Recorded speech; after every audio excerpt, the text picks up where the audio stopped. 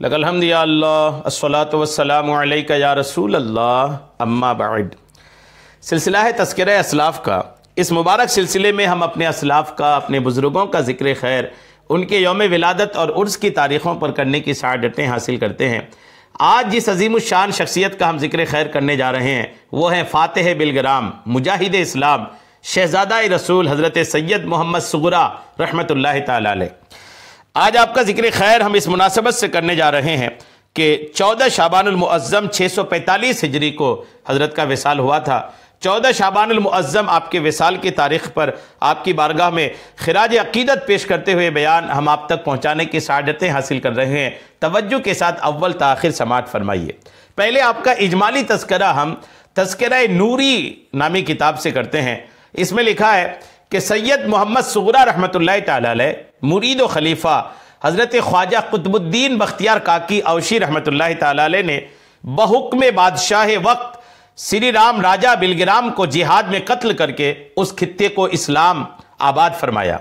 सुल्तान शमसुद्दीन अल्तमश रहमत ने एक जागीर नज़र की और मनसब चौधर अता किया। शयूख के फरशोरी व तुर्कमान भी जो हुजूर के हमरा थे बिलग्राम में आबाद हो गए, जिनकी औलाद अब तक वहाँ मौजूद है। फतेह बिलग्राम की तारीख, लफ्ज़ खुदादाद जिसके अदद 614 होते हैं, से निकलती है। हज़रत सैयद मोहम्मद सुगरा रहमत जद्द आला सादात बिलग्राम के हैं। यानी बिलग्राम के जो सादात कराम हैं, उनके जद्द आला है सैयद मोहम्मद सुगरा।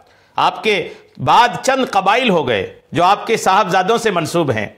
आपने इकतीस बरस हुकूमत फरमाकर चौदह शाबान सन 645 हिजरी, बारह सौ सैतालीस ईस्वी को बमकाम बिलग्राम इंतकाल फरमाया। मज़ार शरीफ एक बाग में है, जो कस्बे से जानब शुमाल वाक़ है। आपके दो साहबजादे थे, हज़रत सैयद उमर और हज़रत सैयद सालार रहमत तमा हज़रत सैयद उमर रहमत ताली हमारे आका कुद्दीस सिर्रहू के जद्द पेदरी और हज़रत सैयद सालार रहमत ताली मादरी हैं। अल्हम्दुलिल्लाह। ये तस्करा नूरी में एक मुख्तसर तस्करा था। आइए कुछ तफसीली तस्करा दायरा कादरिया के सफ़ा अड़तालीस से सुनने की सादतें हासिल करते हैं। फ़ातह बिलग्राम, मुजाहिद इस्लाम, शहजादा रसूल, हज़रत सैयद मोहम्मद सगरा, छठी सदी हिजरी के निसफ अखीर, पाँच सौ चौसठ हिजरी में जल व आराय बज़म कायनात हुए। तालीम के हसूल के बाद दिल्ली दरबार से वाबस्ता हो गए। आपका शुमार सुल्तान शमशुद्दीन अल्तमश के मुकर्रबीन में होता है। शुजात और और हिकमत वर्षे में मिली थी। इसलिए उरूज इरतका की मंजिलें खुद ही गुबार कदम बनती गईं। आप जैदी सादात से हैं। सिलसिला नसब अठारह वास्तों से सैदना इमाम आली मकाम शहीद करबला रदी अल्लाह तहों से जा मिलता है। अठारह वास्तों से। हज़रत आज़ाद बिलगिरामी के नाना और उस्ताज़ हज़रत अल्लामा सैयद अब्दुल जलील नामी वास्ती बिलगिरामी ने बहुत ही दिलकश पैराए में हज़रत फ़ातह बिलगिराम के नसब नामे को नज्म किया है, यानी नज्म के अंदाज में आपने अल्हम्दुलिल्लाह हज़रत के हयात को ज़िक्र किया है। अल्फाज इस्तेमाल फरमाए हैं, लगता है नगीने जड़ दिए हैं, उसलूब की रवानी कौसर और सलसबील के मज़े देती है। जी चाहता है कि इस आबदार फारसी नज्म को आप इसको पढ़ें। दायरा कादरिया के सफ़ा उनचास पे, अल्हम्दुलिल्लाह, ये पूरा फारसी नज़म भी है और उसका उर्दू तर्जमा भी है, जिसमें आपने, अल्हम्दुलिल्लाह, हज़रत सैयद मोहम्मद सगरा रहमत ताली की पूरी आपकी हयात को, अल्हम्दुलिल्लाह, बेहतरीन और ख़ूबसूरत अंदाज में पेश करने की सादत हासिल की है। सैदना इमाम जैनआबिदीन अली बिन हुसैन रज़ी अल्लाह तुमा ने कई शादियाँ फरमाईं। सैदा फ़ातिमा बिनते इमाम हसन से हज़रत इमाम मोहम्मद बाकिर पैदा हुए। और मुख्तार सकफ़ी की नज़र करदा कनीज़ जयदा के बतन से हज़रत जैद शहीद पैदा हुए। यही हज़रत फ़ातह बिलगिराम के जद्द आला हैं, जिनके वसीले से आपका सिलसिले नसब इमाम आली मकाम तक पहुँचता है। हज़रत जैद शहीद रज़ी अल्लाह तु जुरत व शुजात, इल्म फजल और जहद इत्तका का मुरक्का थे।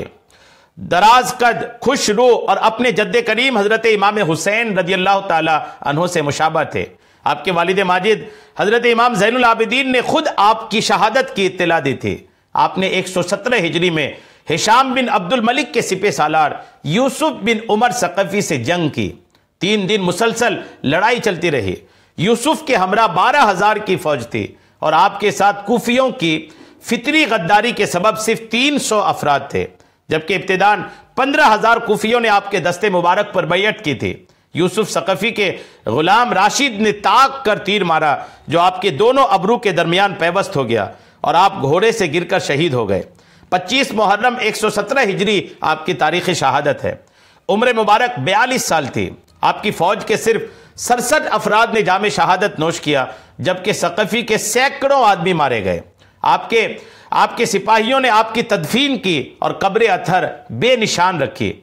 लेकिन एक हबशी गुलाम की निशानदेही पर यूसुफ ने आपके नाशे मुबारक निकलवाई। सरे अकदस को जुदा करके हिशाम के पास भेजा और जसने अधर को बेलिबास करके दार पर चढ़ा दिया। चार साल तक जिसमें अथर सूली पर रहा। मकड़ियों ने जाला बुनकर आपकी सत्रपोशी कर दी थी। हिशाम के मरने के बाद यूसुफ सकफी ने वलीद बिन यजीद के हुक्म से बदने अथर उतरवा कर जला दिया और खाक फुरात में डलवा दी। अल्लाह अकबर। हज़रत जैद शहीद रज़ी अल्लाह तु ने दो शादियाँ फरमाई। पहली अहलिया रुकैया थी, जो हज़रत इमाम हसन के पोते हज़रत अब्दुल्ला महज की बेटी थी। उनसे तीन साहबजादे, मोहम्मद, हुसैन, जुद्दम आ, ईसा, मोतीमुल इशबाल और एक साहबजादी सआदत हमीदा पैदा हुई। दूसरी अहलिया रबता थी, जो हज़रत मोहम्मद बिन हनफिया की पोती थी। जिनसे हज़रत यहिया पैदा हुए। इन चार साहबजादों में हज़रत ईसा, मोतीमुल इशबाल, ये सबसे छोटे थे। वालिद माजिद की शहादत के वक्त आपकी उम्र मुबारक एक साल थी। हज़रत फातेह बिलगिराम आप ही की नस्ल से हैं। हज़रत सैयद ईसा कसरत से शेर का शिकार किया करते थे। इसलिए आपको मुतिमुल इशबाल यानी शेर के बच्चों को यतीम बनाने वाला कहने लगे। आपकी परवरिश आपके मामू इब्राहिम कतील बिन अब्दुल्ला महज ने की। आपने अपने वालिद माजिद की शहादत के बाद गुमना की गुमनामी की हालत में बहुत पोशीदा रहकर ज़िंदगी के लम्हात गुजारे। जालिमों की बहुत कोशिश और जुस्तजू के बावजूद हाथ ना आए और कोफा बसरा में छियालीस साल की उम्र पाकर एक सौ अड़सठ हिजरी में विसाल महबूब से शाद काम हुए। आपकी नमाज़ जनाजा हसन बिन सालेह ने पढ़ाई और पोशीदा तरीके से तदफीन अमल आई। जालिमों के जुल्म से तंग आकर हज़रत ईसा मोतीमुल इशबाल की चौथी नस्ल में हज़रत सैयद अली इराकी, कोफा और बसरा के वस्त में लबे दजला शहर वासित में क़्याम पजीर हुए, जिसे हज्जाज बिन यूसुफ सकफ़ी ने साठ हिजरी में आबाद किया था। यहाँ का कलम बहुत शोहरत रखता था, इसीलिए उसे वास्त, वास्ताउल कस्ब कहते हैं। हज़रत मीर अब्दुल वाहिद बिलगिरामी खुद से फरमाते हैं दानी के खुश नवेसी माज बराए चीज़, माएम वास्ती व कलम नेज वास्ती अस्त। अब शायद वास्त नाम का कोई कस्बा लबे दजला नहीं मिलता। दरिया के रुख बदलने से शहरों की हदें तब्दील हो जाती हैं और बहुत से इलाके उस तब्दीली की नज़र हो जाते हैं। हो सकता है वासिद के साथ भी ऐसा ही हुआ हो। अलबत् तारीख के सफ़ात में ये इलाका ऐसा महफूज है कि नस्लें वास्ती के उनवान से पहचानी जाती हैं।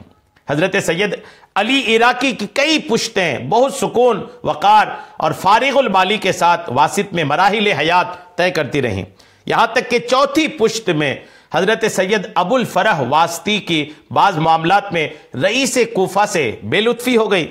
हालाँकि वो जहाँ बानी के मामला में आपसे मशवरा लिया करता था और आपकी फरासत और तदब्बर और सियासी बसीरत से मुस्तफ़ हुआ करता था। हालात की बेकैफी और फितनों से हिफाजत के पेश नज़र। सैयद अबुल फरह वास्ती सुल्तान महमूद गजनवी के ज़माने में वासिद से हिजरत करके गजनी तशरीफ़ ले गए। साथ में आपके चारों शहजादे सैयद अबुल फिरास, सैयद अबुल फ़जाइल, सैयद दाऊद और सैयद मोइजुद्दीन भी थे। आपका सफ़र हिंदुस्तान के पड़ोस गजनी तक ही रुक गया। सैयद तुराब अली बिलगिरामी अपने नसब नामे में लिखते हैं जो फारसी में है। हज़रत अबुल फरा वास्ती अपने अहलो अयाल और रियाया के 36 अफराद और ज़रूरी लवाजमात के साथ हिंदुस्तान रवाना हुए। जब रईस कोफा को अपने किए पर निदामत यानी शर्मिंदगी हुई तो उसने हज़रत सैयद अबुल फरा की खिदमत अकदस में अरीज़ा लिखकर दोबारा वासिद तशरीफ़ आवरी की दरख्वास्त की। हज़रत वास्ती कुछ दिनों बाद अपने साहबजादे सैयद मोइजुद्दीन के साथ वापस तशरीफ़ ले गए। लेकिन आपके तीन साहबजादों ने हिंदुस्तान का रुख किया। सैयद अबुल फिराज, जद्द सादात बिलगराम ने जाइनीज सैयद अबुल फजाइल ने छातरूद और सैयद दाऊद ने थनपुर को इकामत के वास्ते मुंतखब फरमाया। शाह दिल्ली की तरफ़ से चार मुआजात इन तीन भाइयों की ज़रूरियात ज़िंदगी की तकमील के लिए इनायत हुई। अल्हम्दुलिल्लाह। ये एक तरीके से सैयद मोहम्मद सुगरा जो ये बिलगराम के सादात के जद्द आला हैं इनके ख़ानदान के हजरात किस तरीके से हिंदुस्तान आए? कहाँ कहाँ इनके साथ क्या मामला हुए? ये अल्हम्दुलिल्लाह आपने तफसील के साथ समात फरमाया। आइए हज़रत के ताल्लुक से कुछ बातें और मज़ीद सुनने की शहादतें हासिल करते हैं। अल्हम्दुलिल्लाह हज़रत के ख़ानदान के ताल्लुक से मज़ीद तफसीलात अगर आपको यूँ सुननी है, याद करनी है मालूम हासिल करनी है तो आपको ये दायरा कादरिया नामी किताब की तरफ़ रुजू करनी चाहिए। फ़ातह बिलगराम सैयद मोहम्मद साहब अदावतुसगरा कुद्दिस सिर्रहो इसी दीन पसंद और इल्म नवाज़ सालेह और आदिल बादशाह के फौजी अमीरों में शामिल थे। अल्लामा मीर गुलाम अली आज़ाद बिलगिरामी मासिरकिराम में तहरीर फरमाते हैं कि हज़रत सैयद मोहम्मद सगरा, हज़रत ख्वाजा कुतबुद्दीन बख्तियार काकी औशी, कुद्दस सिर्रहू के मुरीद थे। ज़ाहिरी और बातिनी फ़जाइल की जामियत में मजमउल बहरैन थे। आपको दीन मुस्तफ़ी का कलमा बुलंद करने, सुन्नत नबवी को ज़िंदा करने और बिद अत सैया को मिटाने में मुकम्मल रसूख हासिल था।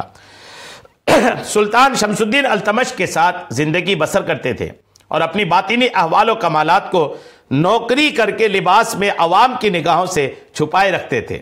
हिम्मत बुलंद, आला खसाइल और जाम कमालत होने के साथ साथ आप सुल्तान अल्तमश के ख्वाजा ताश भी थे। क्योंकि सुल्तान शमसुद्दीन अल्तमश भी सैदना ख्वाजा कुतुद्दीन बख्तियार काकी रदी अल्लाह तु के मुरीद थे और हद दर्जा नियाजमंद। उमूर सल्तनत की बेपना मसरूफियात के बावजूद अपने मुर्शिद की बारगाह में हफ़्ते में दो बार हाजिर होते। शेखुल इस्लाम जमालुद्दीन मोहम्मद बुस्तामी के वफात के बाद उन्होंने शेखुल इस्लाम का मनसब सैदना ख्वाजा कुतुद्दीन की खिदमत में पेश करना चाहा, लेकिन हज़रत ने कबूल नहीं फरमाया। हज़रत सैयद मोहम्मद साहिबुद्दावतुसगरा कुद्दस सदरु हज़रत ख्वाजा कुतुद्दीन बख्तियार काकी रहमत के मुरीद मुराद थे। हज़रत कुतुब साहब ने आपको अपनी इरादत के साथ साथ शरफ खिलाफत से भी सरफराज फरमाया था। इसी कुर्ब इत्तेसाल की नस्बत से हज़रत सैयद मीर मोहम्मद साहिबुद्दावत सुगरा को सुल्तान अल्तमश के दरबार में खसूसी इम्तियाज़ हासिल था। हज़रत मीर मोहम्मद सुगरा कुद्दस सिर्रो को इब्तदाए शूर से यह मलाल था कि उनके दादा सैयद हुसैन रमा को नागहानी सूरत हाल और मुसलमानों की कलील तादाद की वजह से बिलगिराम की जंग में फतह नसीब ना हुई। बिलाखिर आपने इस कल्क के इजाले और इस्लाम की सरबुलंदी के इरादे से मुर्शिद गिरामी हज़रत ख्वाजा कुतुद्दीन बख्तियार काकी कुद्दस सिरहू में अर्जदात पेश की। अर्जदाश्त कबूल हुई और सुल्तान शमसुद्दीन अल्तमश ने एक बड़ी फौज के साथ आपको बिलगिराम की तस्खीर की मुहिम पर रवाना फरमाया। जिसमें फरशूरी शयूख, तुर्कमानी और दिगर अफराद शामिल थे। हज़रत सैयद मोहम्मद सुगरा कुद्दीस पचास साल की उम्र में मुजाहिदीन इस्लाम की फ़ौज के साथ बिलगिराम तशरीफ़ लाए और बिलगिराम के सरकश और जाबिर राजा के मुकाबले में सफ आरा हुए। शिद्दत का मारका हुआ। बिलगिराम के राजा ने सांडी और कन्नौज के राजाओं से भी फौजी मदद हासिल की, लेकिन उसकी कोई चाल कारगर ना हुई और सैयद मोहम्मद साहिबुद्दावतुसगरा की अस्करी क़ियादत जिबिल्ली शुजात और ईमानी क़ुवत ने कुफ्र के इस फिरौनी पैकर को खाक को खून में नहला दिया। राजा का लश्कर सख्त जिल्लत आमे शिकस्त से दो चार हुआ। हज़रत अल्लामा आज़ाद बिलगिरामी मासिर कराम में लिखते हैं कि हज़रत सैयद मोहम्मद ने अल्लाह ताला के हुक्म से 616 हिजरी 1217 ईस्वी में इस्लाम के गाजियों के एक फौज के साथ बिलगराम पर चढ़ाई कर दी। और यहाँ के मुतासिब राजा सिरी के साथ मारका किताल आरास्ता किया, जिसे खजानों की बहतात और सिपाहियों और मददगारों की कसरत ने गुरूर में मुबतला किया था।